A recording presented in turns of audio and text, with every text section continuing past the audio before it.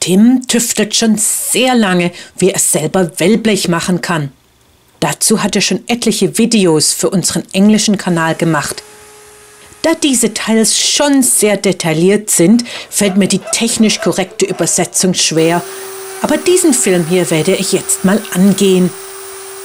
Für diese Maschine hier hat Tim die hölzernen Walzen selber gemacht. Das hat alles ewig gedauert und Tim ist an die Grenzen seiner ihm zur Verfügung stehenden Werkzeuge gestoßen, aber konnte trotzdem eine ganz erstaunlich genau funktionierende Maschine zusammenbauen.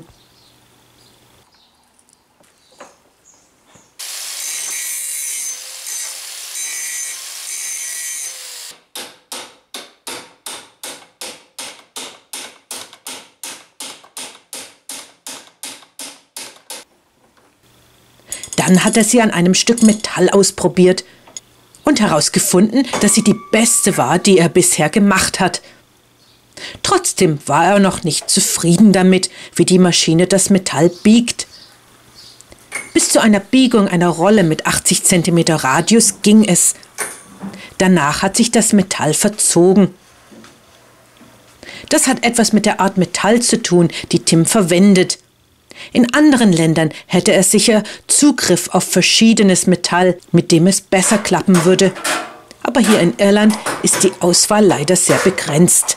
Und wenn das Material nicht schon eine groß genug Herausforderung darstellen würde, die Form des Wellbleches wirft weitere Schwierigkeiten auf.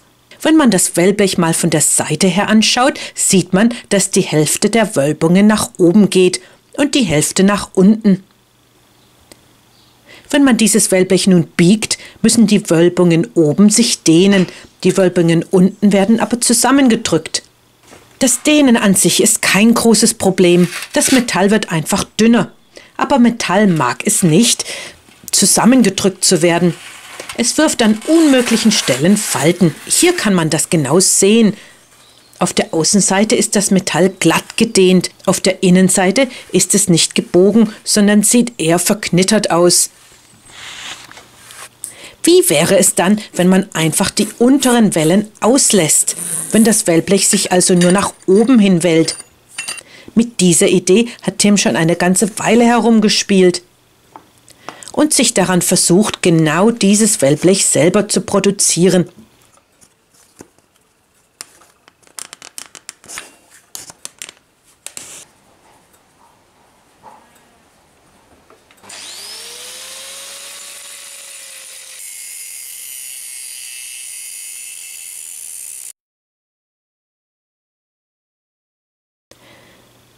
Dafür musste er eine besondere Walze herstellen.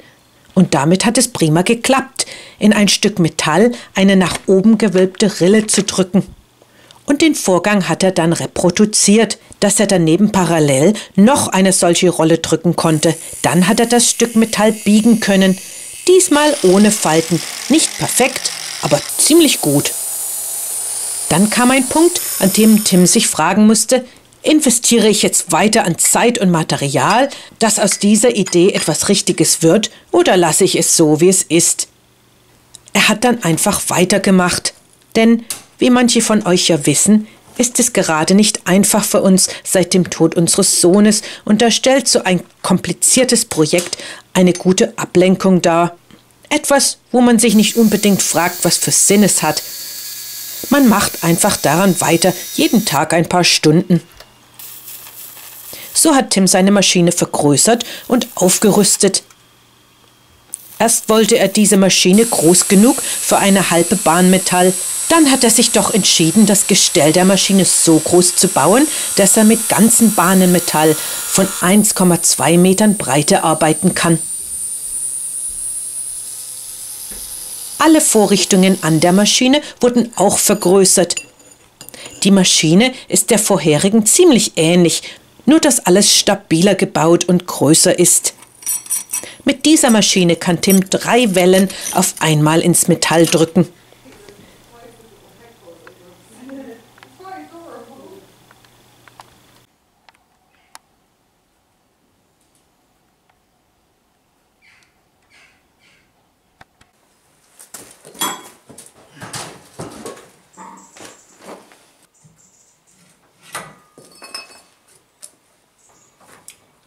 That's the way you'll be turning it. Okay. Try and feed in the sheet in a straight line. Es ist schwierig, alle Wellen auf einmal zu machen, denn das Metall zieht sich ja bei dem Vorgang von den Seiten her zusammen. So ist es doch besser, wenn man alle Wellen in mehreren Vorgängen reindrückt. Die Wellen müssen nacheinander in einem Durchgang geformt werden. Tim weiß an diesem Punkt noch nicht, ob die Wellen groß genug sind und den richtigen Abstand haben. Aber jetzt hat Tim das Gerät so gebaut. Und es wäre ein Riesenaufwand, es zu verändern, also hofft er darauf, dass es so okay ist.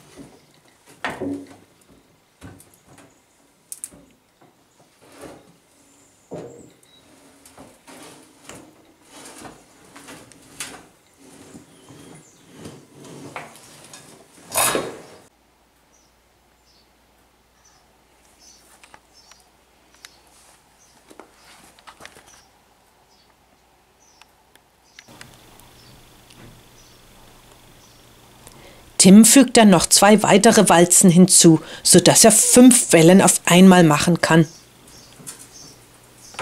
Ohne seinen tollen Plasmaschneider hätte er die Einzelteile alle nicht herstellen können.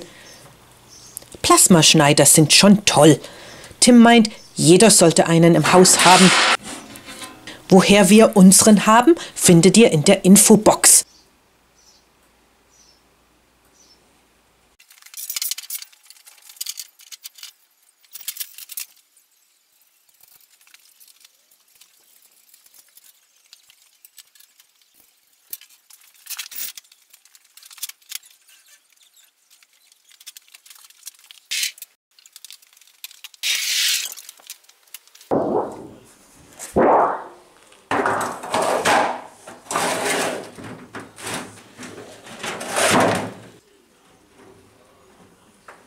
Tim musste feststellen, dass wenn man nur an einer Seite des Metalls Wölbungen hineindrückt, dann wölbt sich das Metall längsseitig.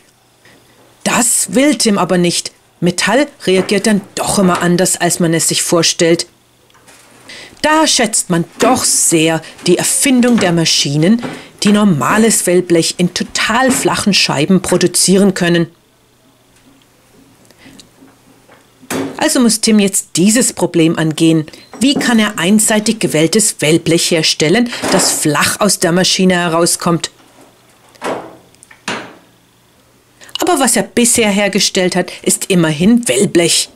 Eine besondere Sorte,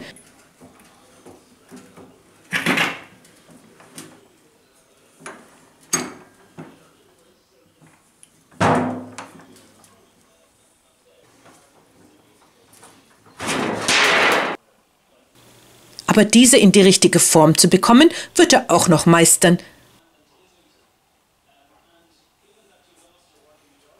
Bleibt dran bis zum nächsten Video.